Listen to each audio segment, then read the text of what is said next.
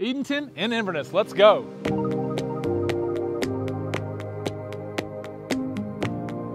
Welcome to Edenton, tucked in the heart of Inverness. We are at 27127 Portobello Road, Gina. This is close to 280. It's three bedrooms, three baths. It's the Carlisle plan. Let's take a look. Take a look. As always, ladies first.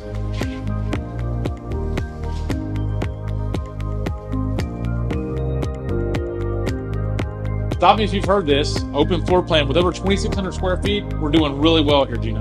We have a breakfast open to the dining room, open to the living room, and open to the kitchen.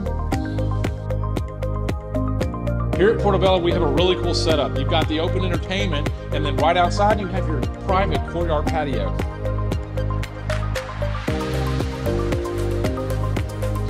Here, you have an extended patio, a quiet space for you to hang out on those nice summer nights. What makes this floor plan different is there are two bedrooms on the main level. One is your primary ensuite. And we're upstairs now at the third bedroom. This bedroom is huge. It's got over 325 square feet with its own personal ensuite.